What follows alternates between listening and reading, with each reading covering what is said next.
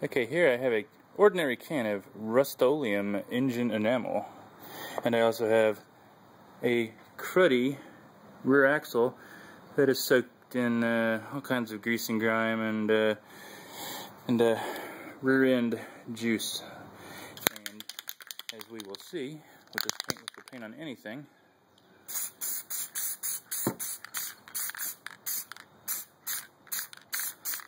that's right.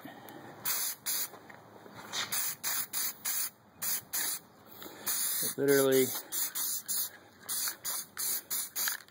will paint on just about anything and it is like no fish eyes. I mean grease and grime oil. Doesn't seem to matter. It is it is the honey badger of enamels. It does not care.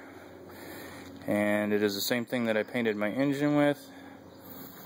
And it has several thousand miles on it now and I have washed it with the hose and it sticks and has not come off so anytime I need to paint something I use Rust-Oleum engine enamel because it will not come off.